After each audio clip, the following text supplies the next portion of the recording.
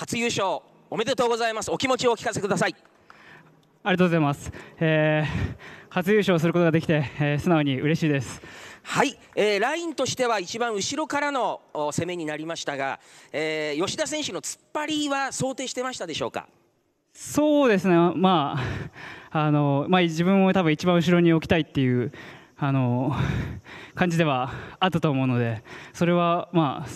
予想はできてました、はい。えー、塩島選手のラインの後ろに、えー、滝川選手がいました、えー、短期での動きは想定はしてましたか？そうですね。あの滝川さん、いつもあの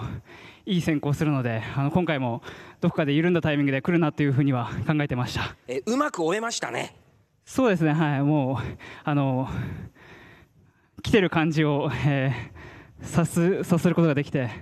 あのうまく終えました。はい。はい、二角からのまくりのスピードも良かったと思いますが、ご自身で手応えはいかがでした？そうですね、あのまあ、まくりのでは良かったので、あのこのままいけば、あのまあ、車検には絡めるだろうなっていうふうな感じではいました。はい。完全優勝です、特賞に向けて、一言、ファンの皆さんにお願いします。えー